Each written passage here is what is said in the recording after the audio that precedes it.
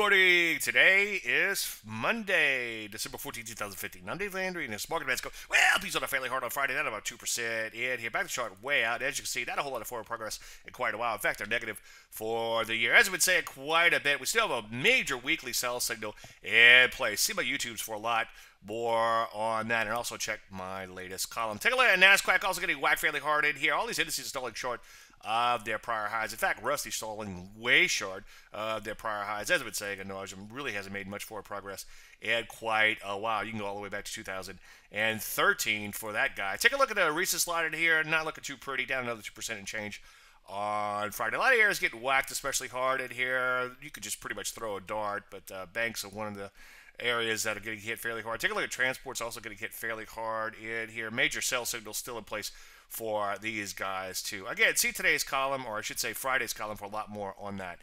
Any questions? As usual, Dave at DaveLandry.com. I'm Dave Landry again. You heard Mark Bennett.